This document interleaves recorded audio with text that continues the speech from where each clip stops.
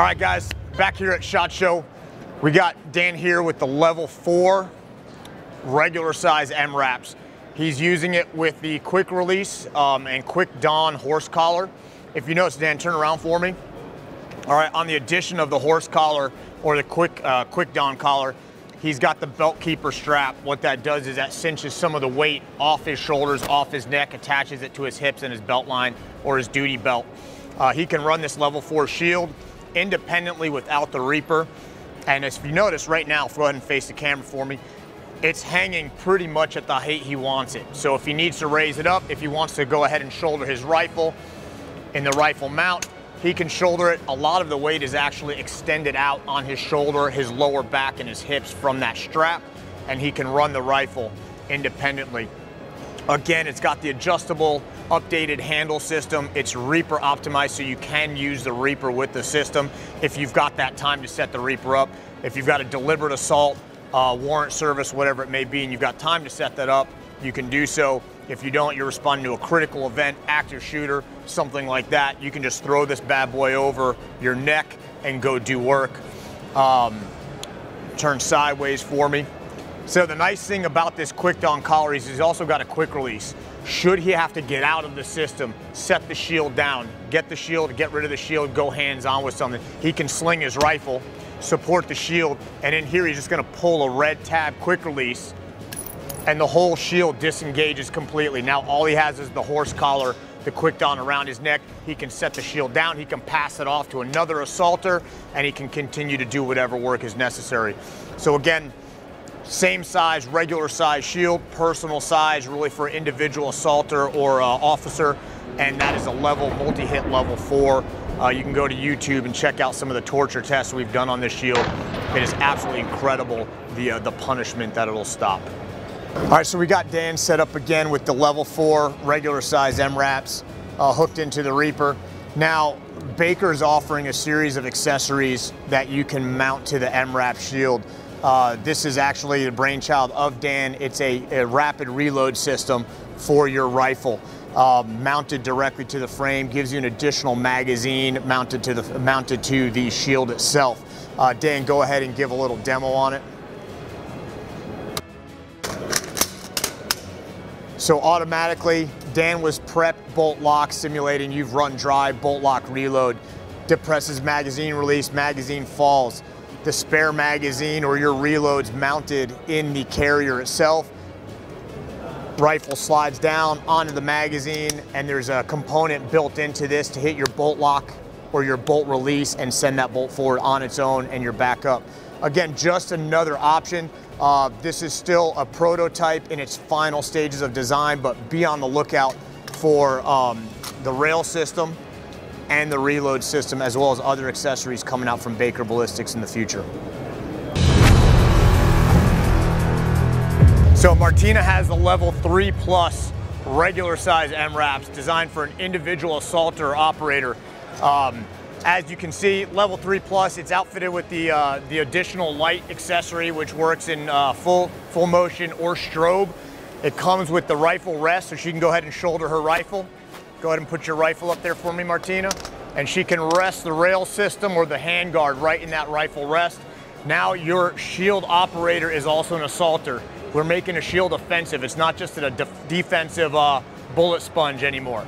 Now we can have a single person carrying a multi-hit rifle rated shield with a rifle. They're their own cover man or woman in this case. Go ahead and put your rifle down for me. Um, as you can see, Martina is not using a Reaper system to support this shield. The 3 Plus in this configuration is 15 pounds, so it's not, not the heaviest thing in the world. She's carrying it up. She's a little tiny bitty thing. She's got the additional horse collar, which supports the shield as well, and all she's got to do is control the elevation and angle of the shield. If she needs to let it hang, she can let it hang around her neck. If she needs to get away, it's got the quick release, you can cut away from it, and it's got the adjustable handle that you can set up for any angle whatsoever. Um, again, this is set up for Reaper optimization, so if you wanted to run this with a Reaper, you could run this with a Reaper as well. It's designed with the brand new handle system built on the, uh, the crumple honeycomb backstop, so the handle is not directly bolted in or through the shield, so the handle will never shear off if the shield is getting impacted with rounds. Again, this is the regular size level 3 plus, uh, Baker level 3 plus MRAPs. All right, guys, so we're here with Tim Russell from Advanced Accuracy Solutions. He's running the XL Level 4 MRAPs outfitted with what's called the Rock. Now, the Rock is a 3A panel that can be mounted to the front of the, uh, the MRAPs. All right, if you happen to get shot with pistol rated ammo, now you're not damaging your expensive multi-hit rifle rated MRAPs, and all you gotta do is replace the Rock. Also, each of the MRAPs comes outfitted with hook and loop at the top, so you have a variety of mounting options for tablets, cameras, whatnot. Uh, Tim on this one has essentially an iPad mounted to the top of it with a thermal camera. This allows him to stay behind the shield entirely and still see what's in front. This allows me as his cover man or his teammate stacked behind him to look over his shoulder and see what he sees without having to poke my head off. It's good if you're moving up and doing explosive breaching or working a long corridor or hallway. He's using the external pack frame, which is like an exoskeleton, fully adjustable to run the Reaper. The bigger, heavier shield in this configuration, you need a little bit more support. Um, again, Reaper setup. it's balanced for the weight of this shield. All right, you can change out the gas pistons for different weight, different size shields, different weight of weapon systems. Turn toward me, Tim, for me. All right, so on this shield, he's got the ballistic rock or the B-Rock. It's 3A protection. Nice thing about the B-Rock is you can actually deploy it and drop it down lower. So Tim, go ahead, pull that down. Now he's got some lower leg protection against ricochets, skipping rounds off. He can run that. The other cool thing about the Rock, go ahead and sling your weapon for me, is I can come up as a teammate and I can clip out and now I can take the Rock and use it as a separate 3A panel if I need to, if we need to separate and I need additional protection to the shield. Um, again, in the full size Reaper, the handle's fully configurable, fully adjustable. You can adjust it for a right-handed or left-handed shooter pretty much on the fly. It allows for hands-free operation too if you need to go hands-off, hands-on, adjust your weapon, fix a malfunction. He's got no hands on the shield right now and it's just sitting at the level he wants it. With the Reaper and the proper pistons, you make that shield neutrally buoyant. You're not holding the shield anymore. You're simply adjusting the angle of coverage that you want. Uh, multi-hit, rifle rated, level four protection, fully man portable, making shields offensive now instead of defensive. Uh, you have an assaulter with a shield, with additional options, accessories, cameras, the whole nine yards. Fully, fully um, modular system for you. All right, so we're here with Andy Butler from Advanced Accuracy Solutions. He's got the full size or the XL um, level 3 plus plus MRAPs. He's also using the Reaper to support it. All right, as you get into the bigger shields, the higher ballistic rating, the 3 plus plus, the level 4s, I don't care how big and how strong you are, you're gonna get fatigued supporting this thing after a while, especially if you're covering high on a stairwell, an overlook, uh, a walkway or something. So he's got the Reaper, which is supporting the shield itself. All he's doing is moving it left and right. The extra large shield is a great size if you've got to go do a, a injured officer recovery, um, go it, it drop a throw phone, you're doing an open air assault.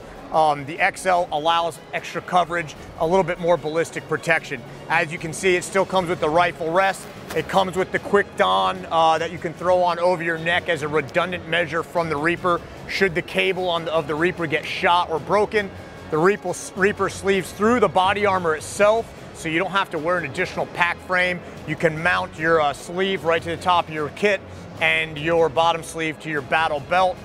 You can see it has no issues clearing uh, the clearance of a ballistic helmet. We run these things with nods on the whole nine yards and there's no issues. Um, it's set up, you can mount a, a, tablet or a camera on the hook and loop on the backside so you can record your assault, save that for uh, training purposes, evidence, whatever it may be. The adjustable handle on the crumple zone honeycomb so there's no back face deformation and you're not gonna shear that handle off.